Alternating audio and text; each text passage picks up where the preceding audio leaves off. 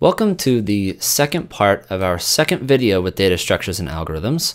And we're going to use the definition of big omega to prove that 6n squared minus 25n plus 30 is big omega n squared. Okay, meaning that n squared is a lower bound on uh, 6n squared minus 25n plus 30. Okay? So uh, first off, we need to do some side work. So let's label that here as side work so we don't get confused. Side work. Okay, and this won't be uh, in our proof, this work that we do here. It's not going to be part of our proof. So let's give ourselves some room. Let's plug this into the definition, right? So we have uh, 6n squared minus 25n plus 30 is less, oh, whoops, sorry, that's big O, is greater than or equal to a times n squared for all n, uh, sorry, that's kind of messy, for all n greater than or equal to b, right? Now, just like we've done before, let's try something, right? Let's try uh, a equals to 1. Now, Let's plug that in and see uh, what, uh, what it looks like. So we have 6n squared minus 25n plus 30 is greater than or equal to n squared for all n greater than or equal to b. All right, we're a little closer here. So this kind of looks like um, one of those uh, equations where you have to solve for the intersection, right, of uh, of the x-axis, if you will, or the n-axis uh, in our case, right? Where does it equal to zero at, right? Where does this function equal to zero? So let's minus n squared from both sides. We have 5n squared minus 25n plus 30 is greater than or equal to zero. There it is. Now with a little bit of math, we can find that 5n 5n minus, uh, 15 times n what minus 2 yeah is greater than or equal to 0 and if we solve for 0 right we find that n uh, should be greater than or equal to 3 we're trying to find this b here. And that n should be greater than or equal to oops sorry should be less than or equal to 2 right, in our case. Now, why did I choose these? Let's look at this for a second. We didn't really show the math here, but I'm going to show you uh, more on a more visual way. Here's our n-axis, and here's f of n. And let me give it a different color. So our function here kind of looks like this, or actually this function here kind of looks like this. Something like this. Sorry, it's a terrible uh, drawing, but you get the idea. Okay, and we found these points here. Okay, this is uh, 3, and this is 2. Now, we chose n greater than 3, right, because it's positive here. Okay? Why did we choose n to be less than 2, right? Well, because again, it's positive here as well. But we're going to see that we're going to end up using this value instead, right, for our b, uh, because the other ones don't. The other one doesn't make sense. First of all, here, right, this stuff is negative, right?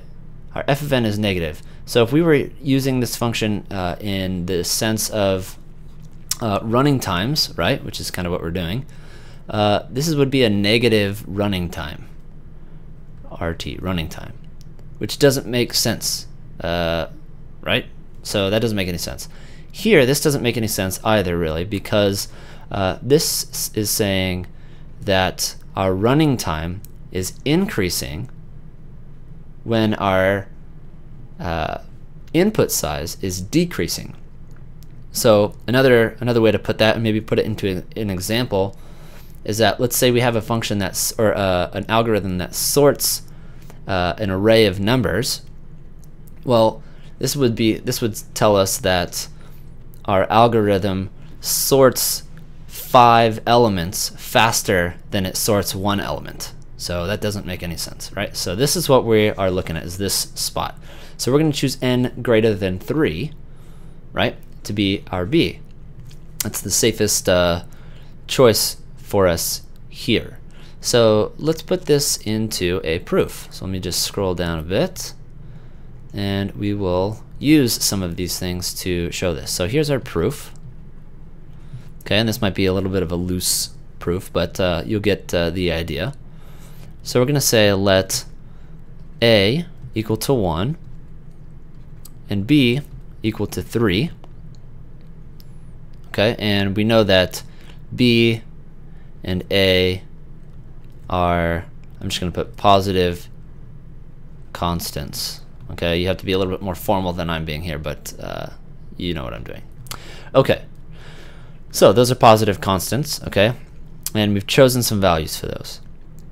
Now, we're going to say that if n, right, is greater than or equal to b, which is 3 in our case, right, then the following things are true, right? Then, you should probably write that out, but I'm not going to. Um, then we know that n uh, minus 3 right, is greater than or equal to 0. Okay, that kind of comes from this here. I'm kind of doing some of the math that I didn't show here, but I think you, uh, you should probably know that by now, right?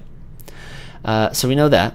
And if that's true, right, then if we multiply everything, this whole equation by 5, then this is true, right? Then we have 5n minus 15 is greater than or equal to 0, right? Those things should hold. Also, I'll put also, uh, n minus 2 should also be greater than or equal to 0, right? So that's kind of how we found uh, this one. Okay.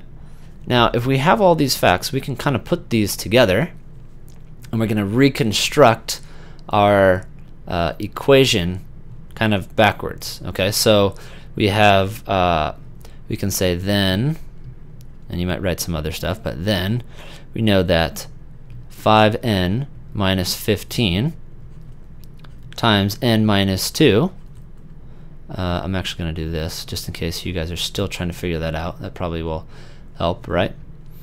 Is greater than or equal to 0. Okay?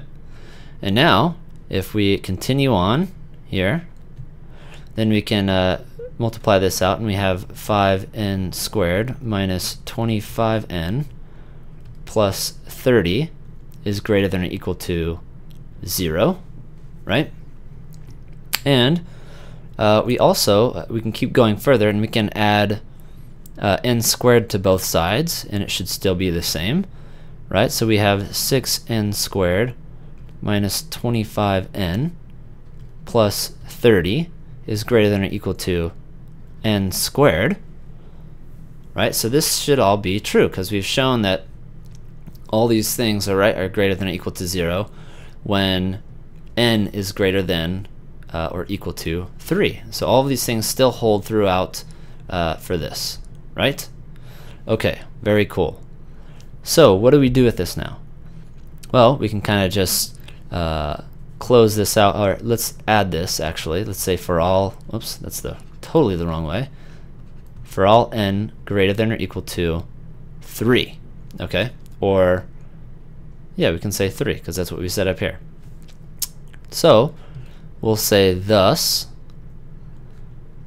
uh, 6n squared minus 25n plus 30 is greater than or equal to n squared, we kind of have to reiterate here, trying to be a little bit more formal, for all n greater than or equal to 3. We just kind of copied the line. Sometimes you do that in proofs. I don't know, maybe you don't. Okay, and we will say, and we have shown, right, and we've shown that, uh, oh, we'll say this, we've shown by the definition by the definition of big omega that f of n is greater than or equal to a times g of n for all n greater than or equal to b, uh, where f of n is equal to 6n squared minus uh, 25n plus 30 and g of n is equal to n squared. And a is equal to 1 and we'll say and b is equal to 3 and again you can uh, do a little QED okay? There we go